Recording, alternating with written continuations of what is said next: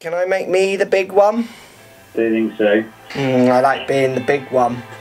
Morning, y'all. Me and O not allowed back to school yet. No. Monday you go back. So we've dropped mummy at the station. She's got a, like a pampery spa day she's doing. All right, something isn't it? So we're going into town and get some breakfast, aren't we? Yes. Today's vlog, we're going to talk about what to do on a Friday, because it's Friday today, Yeah. to get ready for your weekend of golf. Obviously, different people will have different opportunities. Some can hit balls, some won't be able to do anything. So we're going to talk about what are the best things to do to get ready for your weekend golf. Do you know what today's question is of the day? No. Where are you playing this weekend? Down there, let's hear ya. Where are you playing golf? Where were you playing golf?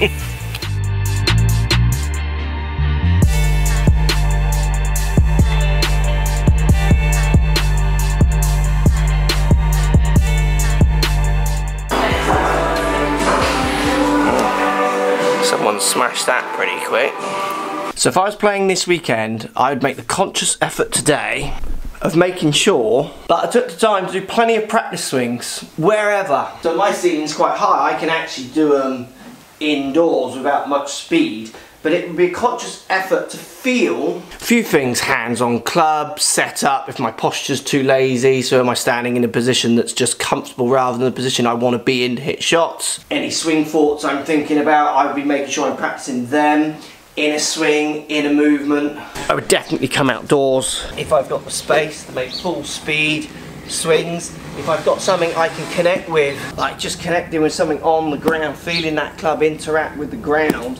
So if it's my putting green, if it's your grass, I mean as a kid I would do it on kind of even some kind of concrete surfaces just to try and get that club to brush. It'd be amazing how light you can brush and make no effect to the club or certainly the bottom, the sole of it. But my practice swings would be based around as well, feeling different paths of the club. So feeling like the club's going more into out, feeling like the club's going out to in, feeling like I'm swinging where I want to be maybe a bit straighter. The description makes it obvious if you think about it. We call them practice swings, and that's what they need to be doing. You need to be practicing swinging in ways that you might swing on the course. Now, I grew up at a course which didn't really have much of a practice area. You just had to hit them down the first fairway, so there was lots of times you couldn't do that because the course had competitions or too many people on. So I spent a lot of time as a kid practice swinging, imagining shapes of swings, moving my body in particular ways, practicing different feelings, hitting balls into a net and in just in front of mirrors or in gardens and things like that. And I personally believe that's why I'm good on launch monitors now. That's why I can hit different numbers, kind of slightly better than some other pros that are in, say, the videos, because I spent so much time practice swinging. Lots of people haven't got the mindset for it. Lots of people don't want to because they just want to have fun at the weekend. But if you want to compete at your most and you can't get to the range, practice swinging, but not just practicing perfect, actually different movements, honestly, has a massive effect. I've had some students who do that kind of religiously every day between sessions because they don't get a chance to hit the ball. And I don't see any difference compared to the ones who have all the time in the world to hit balls. Sometimes they even do better when they're not swinging, try and hit a golf ball. I've discovered something. What's that? Watch this. There's something wrong with this. What? Watch. When I roll this ball on my phone, Yeah. it goes too far. It just goes miles, right? But watch this. When I try to roll it in this jam, Don't go very far. It don't go anywhere. Look, it just. I don't.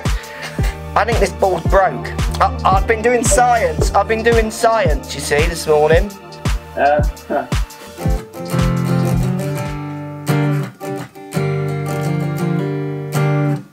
Next thing I would definitely do.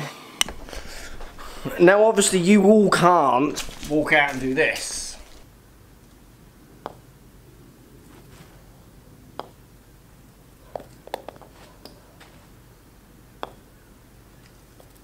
Hole one out of three putts. But if you are going to the range and there is a putt in place there, definitely go and use it. You've got to get this stick ready for the weekend. You've got to get the feel of just moving it in certain directions, being able to control at some kind of distance and certainly strike as much as your iron shots. Oh, you can definitely do stuff like this. That went under the sofa. So indoor carpet putting again, trying to hit towards this putt breaks, mark this putt breaks, a target. I'm going to use my PuttOut, but if I didn't have one of those, ha, I'm going to use anything I can find, and I'm going to hit putts to this. And to be honest, quite really goes left. To be honest with you, I would do this kind of through the week, not just on the Friday. I would just keep picking up. Look at that, go left. And what's what I would do, see I don't like how far left that's going because I don't think it's consistent.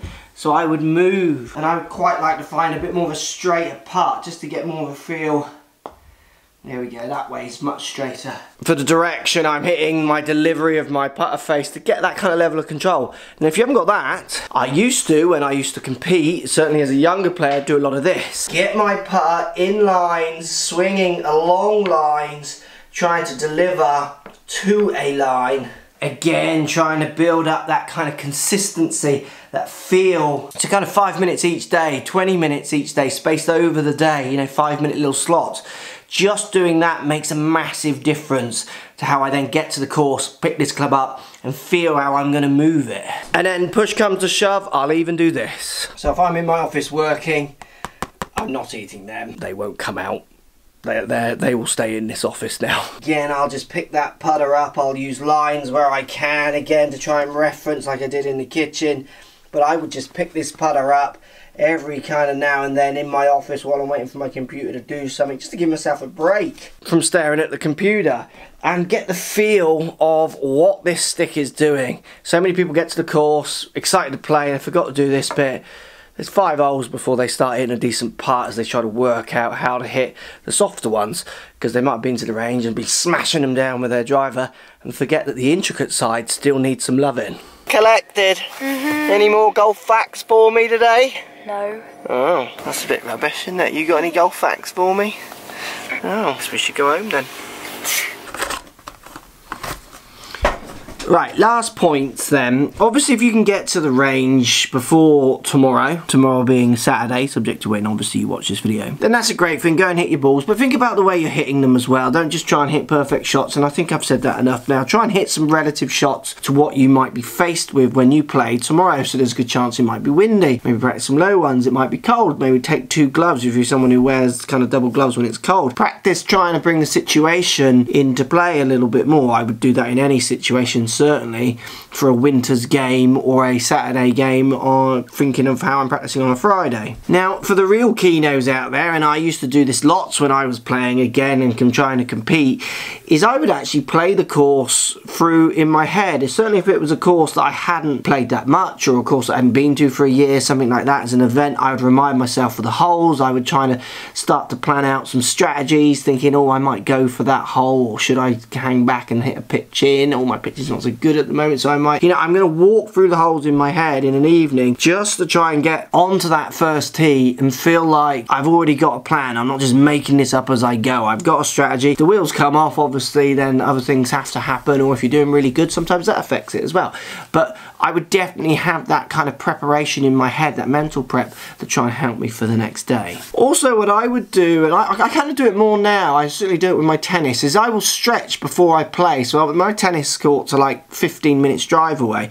So rather than do it on the course uh, or on the court, because when I get there, I kind of just want to hit balls. I'm excited because I haven't played for a month or whatever, or two weeks or whatever it is, and I find it hard to take the time to warm up. So I actually do that in the prep at home, stretch out certain parts of my body I know I need to stretch so I don't cramp. And I would do the same with golf. I kind of do the same a little bit when we go on our tours because we tend to just get on the tee and go. So if I've got five minutes while I'm waiting for coach to finish or for Rory to get filmed and done and I've got kind of five minutes just waiting for him I'll stretch out in the place we're staying so I'm ready when we get there. And feel a little bit more like my body's already activated. All these little things will just get you on that tee on Saturday feeling like you are ready to go. Should we give these two out?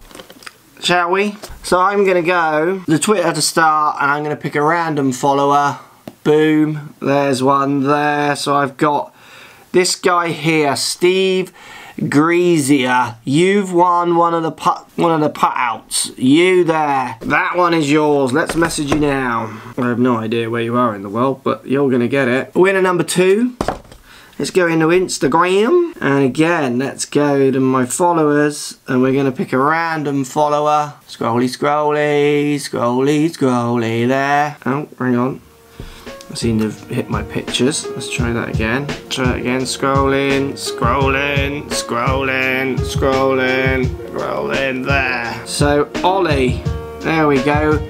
Oh, Ollie Scrimshaw. You've won this PuttOut, so I'm going to message you now. There we go, two winners of PuttOuts. Job's a good one. Right, are you ready? Should we go to the pizza shop? Not Pizza Shop, it's Pizza Hut. Mm. Used to be allowed to call it that. Right, see you all Monday. Have a great weekend. Let me know what you do to get ready for the weekend. I'm very tired still. Let's go to the pizza shop. It don't seem to go anywhere in this jam, look. No. Wonder if you can find out why my ball goes right and left. Well, I have been spending some time trying to work that out, but I'm still not there. I've got I've got some of the best in the world working on it, but they haven't got back to me yet. In fact, some of them have blocked me.